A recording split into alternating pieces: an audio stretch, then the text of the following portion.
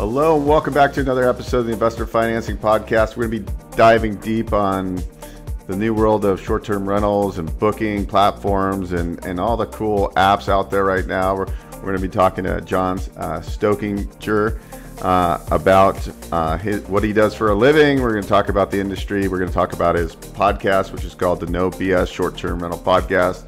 This is going to air slightly after we interviewed your co-host of the show, and that was a great episode. We, we dove deep on a lot of subjects, and you guys are really, you guys are more not in the investor space yourselves, but you're more in like the facilitation of of these bookings happening, right?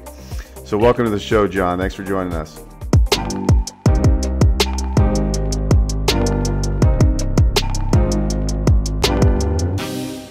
Hey, thanks for having me. Appreciate you having me on the show. Excited. So can we dive in just kind of like what got you so interested in in this kind of vertical, like this whole the whole app and booking platforms and and kind of property management vendor services, I guess you'd say. Yeah, absolutely. I uh, I, I, stumbled in like most into into this space. Um, I, w- I was looking for a remote job. I, w- I was sick of traveling and commuting to work. Um, I was looking for something remote, and I, I answered an ad on Indeed and I actually came into the uh, payment processing side of short-term rentals. I was working for a company that uh, dealt with high risk, um, you know, processing, and and I worked there for a couple of years before transitioning over to um, a, a, sales role at a property management software company. Very cool. And so, um, what what's the evolution look like today of like the whole space? I mean, it seems like it's it's one of the most emerging markets out there everybody's on the investor side, which we we really deal with. It's like right. everybody's on. You know, everybody talks about VRBO and Airbnb, but there's there's like all these other platforms that are like gaining market share. What does the space look like to you? I mean, from from a professionally managed space, you know, there which is a little bit different than say the Airbnb space um, or the Vrbo space for that matter. Um, it's it's been, we've been the short term rental space has been here for for a long time. I mean, this was a you know before HomeAway and before you know VRBO back then. Now it's verbo right? It was um, you know this has been going on since the 80s. There was a, the Vacation Rental Manager Association or the VRMA, uh, which both myself and, and Mateo are, are are part of. Um, Mateo, you mentioned my co-host of the No BS Short Term Rental podcast. We they've been doing this forever. Um, but you know truly, you know, it was gaining a ton of momentum pre-COVID, but you know, COVID and you know that brought up a lot of attention to to the market and investing, and for that matter, because you know people didn't necessarily want to travel to an urban environment and get in a hotel and and they couldn't. You know, there was there's lots of restrictions on travel per se, and even going to stay in in certain areas where you had to share elevators and stuff like that, and like and you know workcations when you wanted to go ahead and work you know wanted to get out of the city but you you still needed to work so you wanted to go and, and you'd rent an airbnb you'd rent a vacation rental for a month or so and work remotely and your family's in the other room and you're doing your thing. Um, so it gained a lot of traction and you know the traction was already there but it gained a lot of you know eyes on uh, monetarily wise like how can can we capitalize on this and I'm I'm I'm just curious, like from the investor space, we're seeing a lot of like large funds and institutional buyers. They're buying single family homes, and now we're seeing like all these other companies in the space that are doing kind of the short term rental management for like these. But but I kind of think what's going to happen, and I don't know if it's true or not, but I think you're going to see a some of these institutional buyers are probably going to end up transitioning into uh, like a short term rental model as opposed to long term because the cash flow is so much better. And I'm wondering if if anybody in that space so so they're going out right now and they're buying like single family homes like and right. just keeping them as long term. But I think somebody's going to come out if they haven't already and start doing this in scale.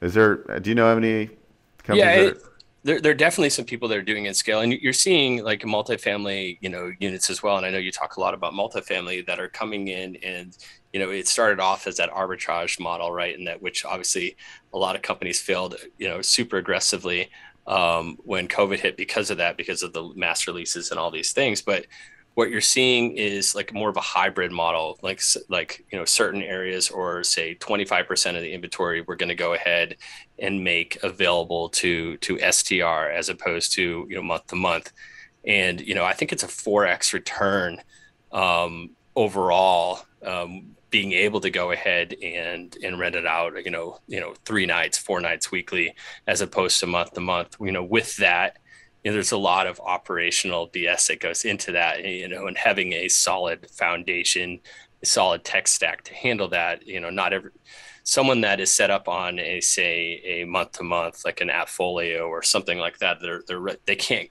just transition easily into into a you know a short-term rental specifically it doesn't work that way. No i i can definitely see like in anything big big companies come in and, the, and they have the buying power and then they they're able to put the tax tech stack together. So there's going to be a lot more competition in the space. Like right now it seems like because single family homes are so fragmented it, it, it's it's hard but there will be companies that prevail that do this on a large level. So it'd be interesting to see how this all plays out, and then what that does to the kind of like the mom and pop operators. Um, but but I also think that's location wise too, because some so they won't want to be in certain markets that the mom and pops are in. I I think that you know the mom and pops and say in, in vacation destinations have been successful, and that's how it all started.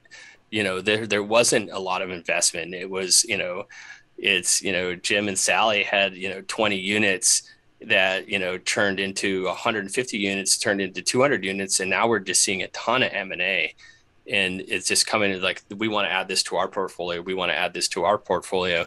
And you know they're they're being successful. Where we're seeing you know i see a lot of purpose built short-term rentals um, in specific markets which are is fantastic. And you know but what people an investment I, I think i've done a little consulting uh, with for this and what investment looks and they see like the shiny things. They don't necessarily look deep at the regulations or the tax remittance and all the different things that go into behind the scenes that these you know mom and pops have been doing for you know have grown with this they've done it for 20 years 30 years in some instances and there's a, there's a really steep learning curve to be successful in this space um, you know there for sure, you know, the you know investment with the right guidance is going to do well.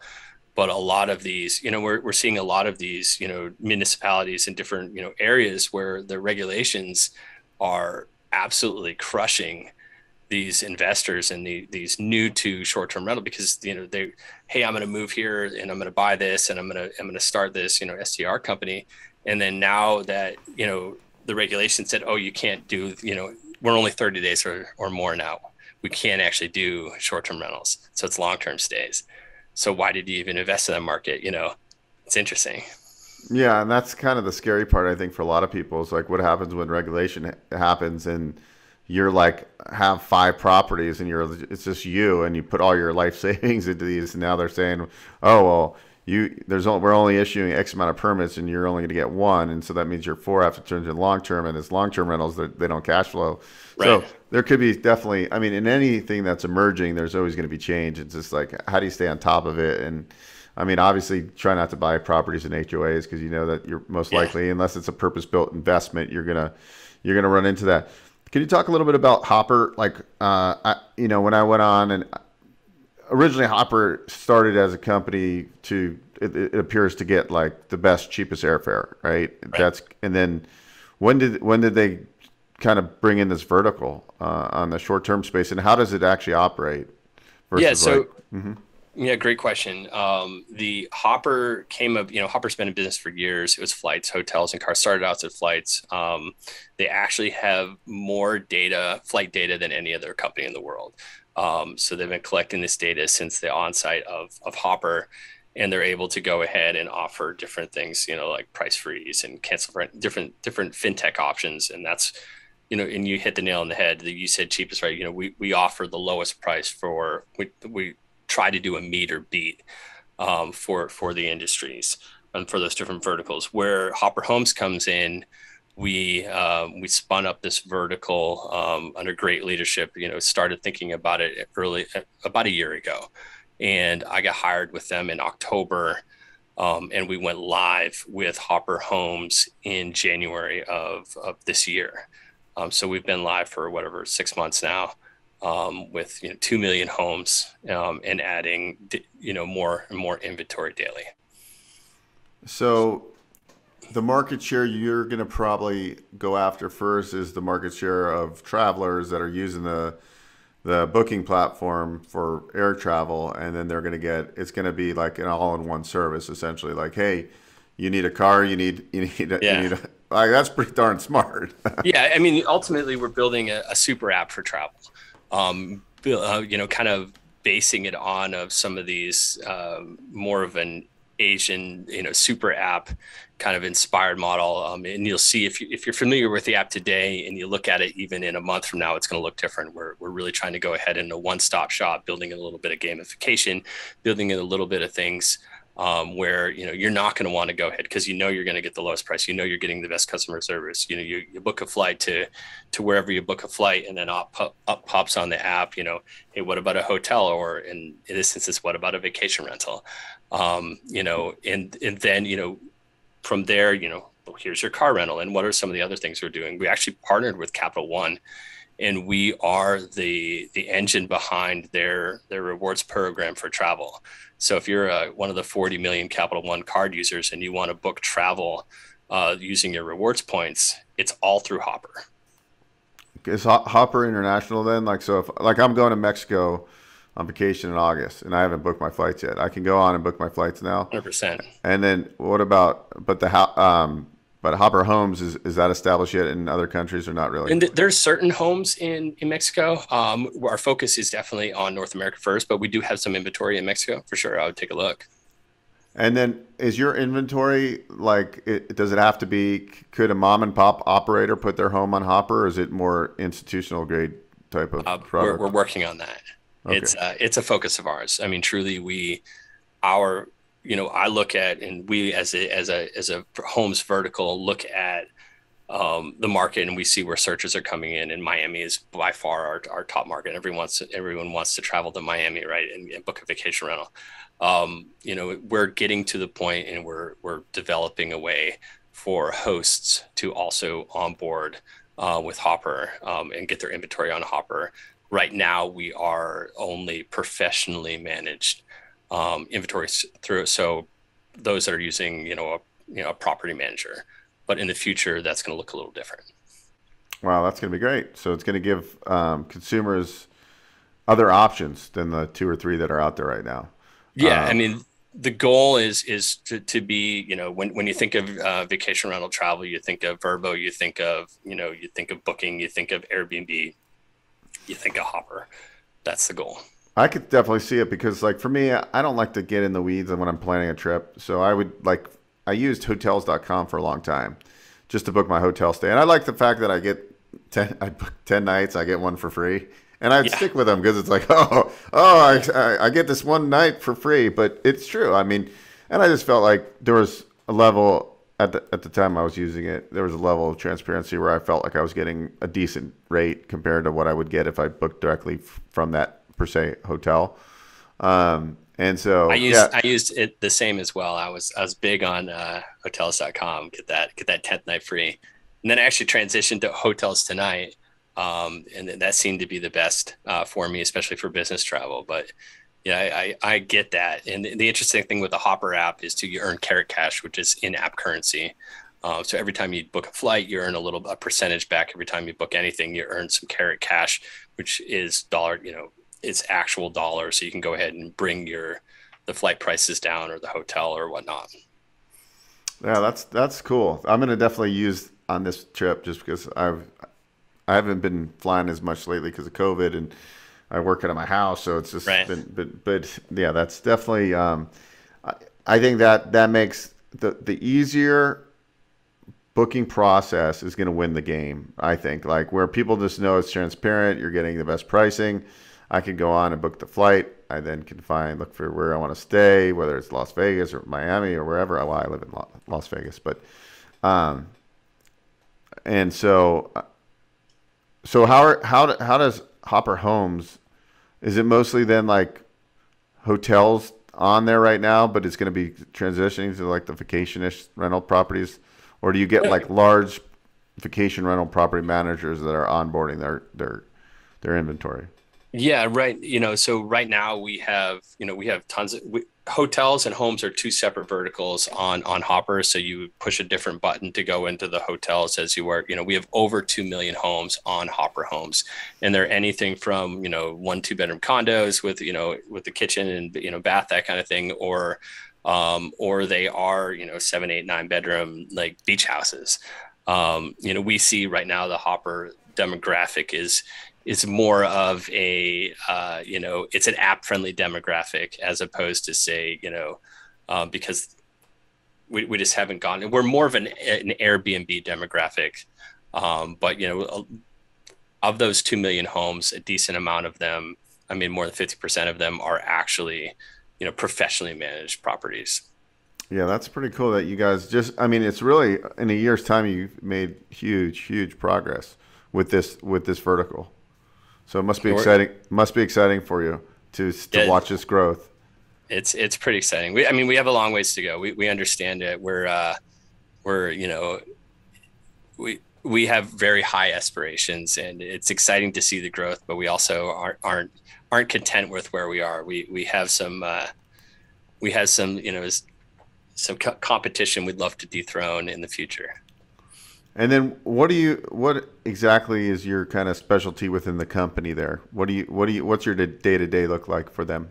Yeah, great question. My my day to day is is getting direct supply. So, so a lot of that homes that, that we have right now is, is actually aggregated inventory. So when we turn the app on, we actually head inventory to turn on. So it's it's inventory we purchase. It's purchased from some of our competition actually.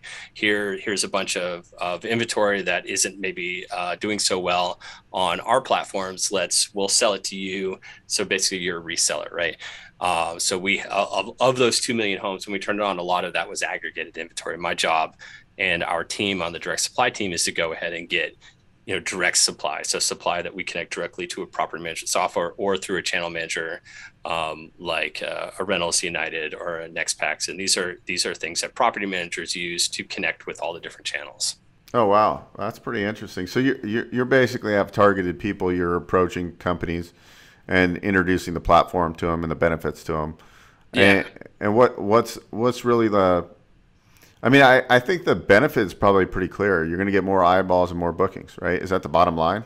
The bottom line is, you know, you're going to you know, Hopper's going to meet or beat all the prices out there. Um, we are, you know, the home, the Hopper app, you know, has 80 million downloads. App. We're the number one uh, downloaded travel app in North America last year, and and are trending to do so again this year. Um, we're adding 2.5 to 2.8 million new downloads a month, so we're we're growing um, as far as you know so we have that 80 million closed user group plus a capital one 40 million closed user group. And these are you know these are you know eyes that are, aren't necessarily on your inventory today you know the, and we're not hopper does not compete with marketing dollars of the property managers so you're not going to see hopper today in say Miami as like you search up vacation rentals in Miami on Google, you're not going to see Hopper home. You know, today you're not going to go ahead and see them. Um, whereas like Vrbo and Airbnb, of course, do those. So we can come into a property manager and say, hey, we're not competing with your dollars. We're an app.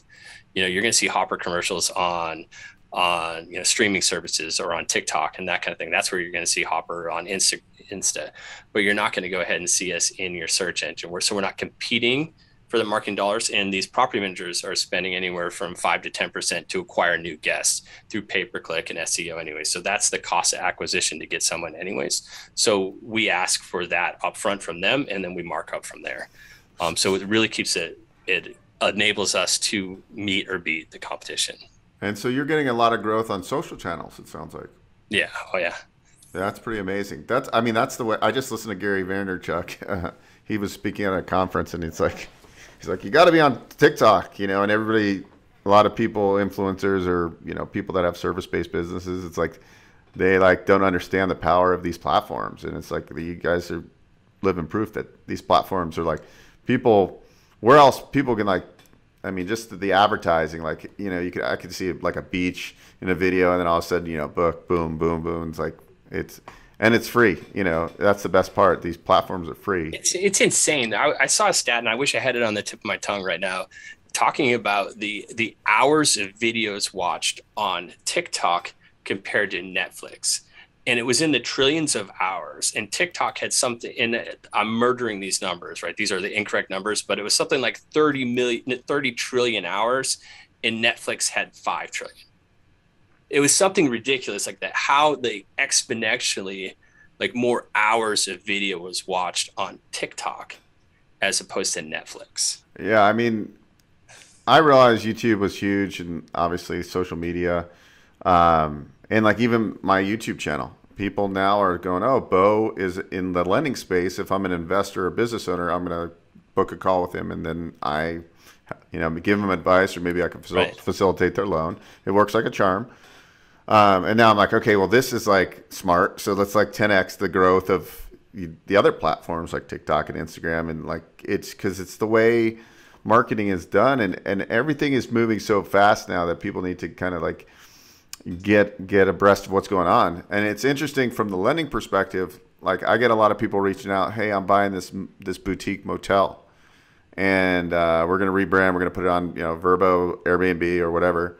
And it's interesting to see like, and then they're they're kind of like um, they're buying these smaller boutique motels, and then they're buying another one, and they're branding in the same way. So they're building their own like huge hotel boutique hotel line, yeah. you know, and it's like super smart. It's like they're get because nobody, no institutional buyers want to buy these 13, you know, units on a beach in Florida, but like individual investors are like, man, this thing will cash flow huge, and they're buying from mom and pops, and they're rebranding, they're making them nice. Yeah, and, and, and it's that it's that eclectic stay, it's that niche stay where you can really curate it for you know for your traveler you know like i love like the these the, the mom and pop hotels that are like each room is rebranded as like a different experience. It's not even all the same.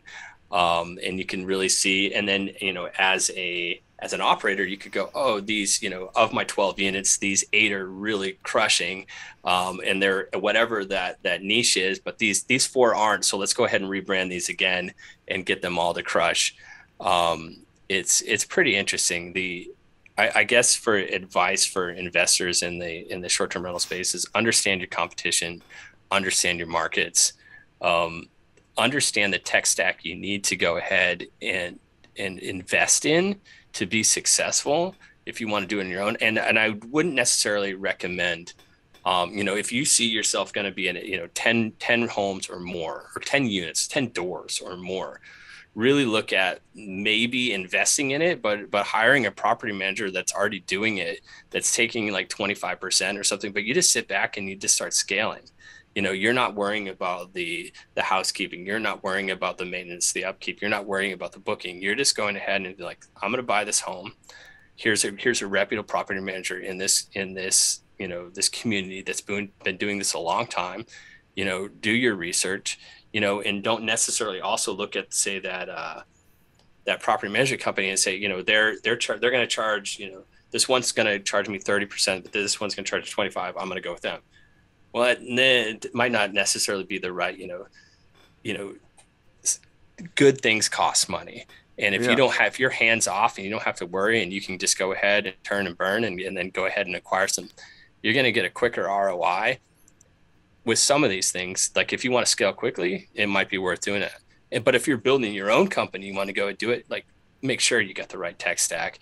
Make sure you're you're really in you like understand your market as far as you know regulations and, and understand where the regulation trends are going even around your community because it today it might not be an issue but in two years from now there you know it might be an issue so and, and when you do become a an operator or a homeowner that that is invested in that make yourself known uh, to your local municipality and to the the people on the that that that make the decisions in your community. And understand hey i'm a i'm a vacation rental pr- professional. I just want to introduce myself. We just went ahead and put these you know five homes up and you know if you have any questions about what we're doing you know be an ally to them because when you know the proverbial you know poo hits the fan here um, in the future like they're going to reach out to you and go oh this guy knows what he's a guy or gal knows what they're talking about or i have questions let's talk to them. Maybe they can point me in the right direction instead of just making like gut decisions and that end up screwing you in the future. Yeah no i love what you said. And also too uh, like my friend he quickly scaled to i mean not a big lot but he's they're like luxury properties. So he's you know doing pretty good on rev. He, he went from zero to five properties in in like 14 months, um, and they're all single family homes and doing very well. And he you know he first got a, a like a virtual assistant that, that had skill sets like booking and stuff. But he's you know I'm watching him being frustrated and frustrating. At some point I'm like man, once you get enough properties and you realize like hey what if i gave up a little bit of money and had somebody manage this whole thing then you're completely passive right, right. versus running it as the business and like so it just depends on where you want to be if you want to build the business versus like invest and invest and then turn it to like a, a good operator and even if if you're paying 20 or 25 percent what are they doing on your gross revenue that you weren't doing because they got more eyeballs on there got they got they're linked with better booking platforms so a lot of people won't let go, but I, I do think that's like for me, I you know, I don't have any short term right now, but when I do my first short term, I'll probably run it myself just to learn the stacks. Like, okay, PriceLabs, okay, um, uh, AirDNA, air DNA, AirDNA. How am I doing compared to what they're saying? Right. So I can understand trends a little bit more in the space.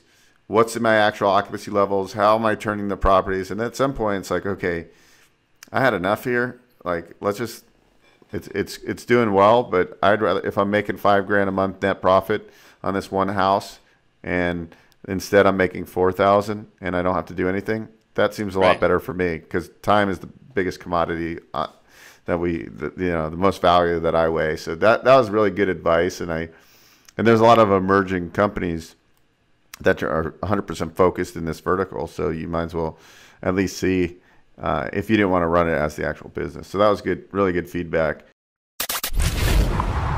You're listening to the Investor Financing Podcast. We'll be right back after this break. Hi, this is Beau Eckstein, host of the Investor Financing Podcast. I appreciate you checking out our channel. On this podcast, we talk about real estate, investing, financing, business lending, and acquiring and expanding your business. I'm sure you will find some videos here that will help you build your business empire.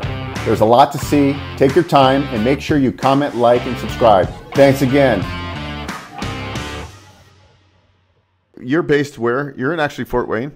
Yeah. Oh yeah, wow. Fort Wayne, Indiana. Uh, I was I was going to buy a bunch of properties there a couple years back. I should have because it's been the market's actually crushed, and there's like a lot of good positive things about Fort Wayne market. I own in uh, other parts of Indiana.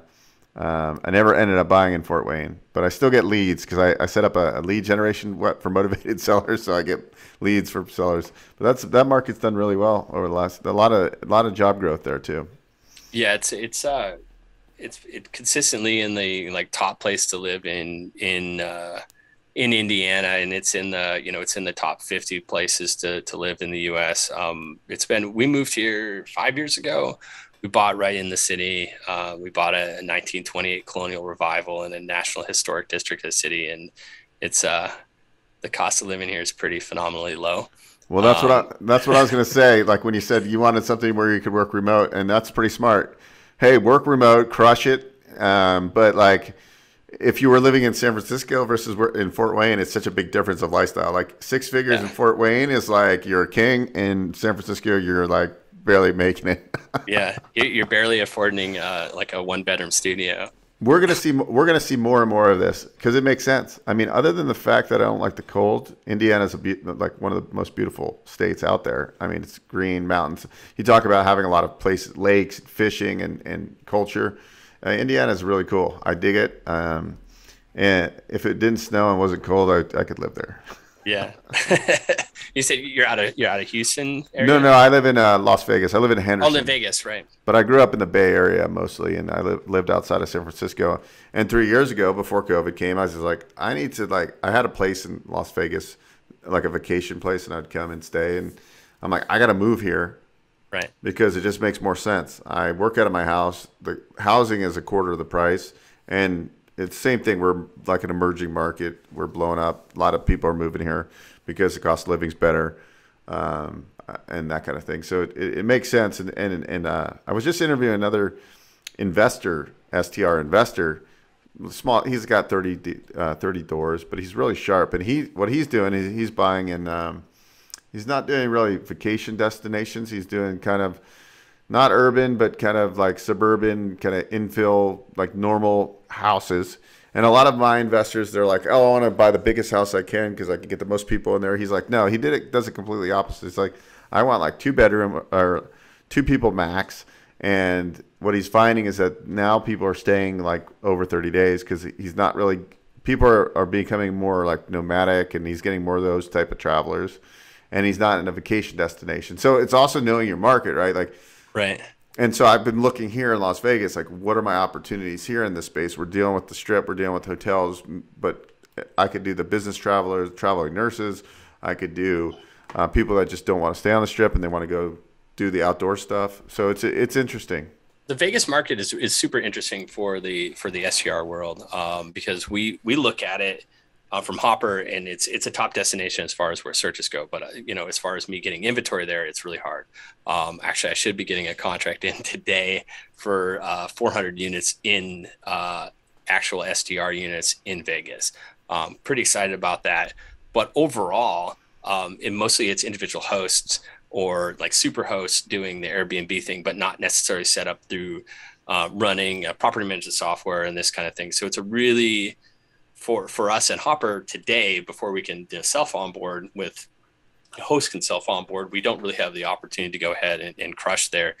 Um, with that said, you know, th- there's a ton of opportunity. So many people want to go ahead and stay there and, and you know, or stay close to the strip, but not on it. And don't, you know, we're actually going to be there in October for our VRMA uh, international conference. Um, we're there almost every other year. Uh, imagine that, right? Uh, so we, we got a big big show coming up there. Actually, doing some podcast stuff there. Uh, in while we're in town, so I'm pretty excited about that. Yeah.